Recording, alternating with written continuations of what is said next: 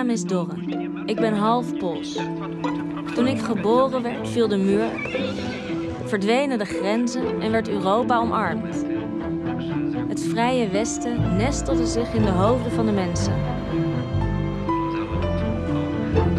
Nu lijkt het alsof het land zich terugtrekt. Polen is geloviger en nationalistischer dan ooit. Ik ben nieuwsgierig naar wat er is gebeurd en keer terug naar mijn moederland.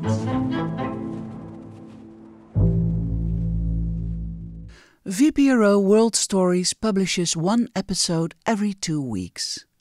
The next episode of Moja Polska will be published next Thursday.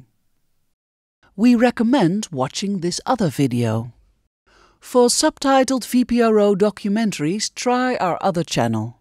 And don't forget to subscribe to get updates on new series.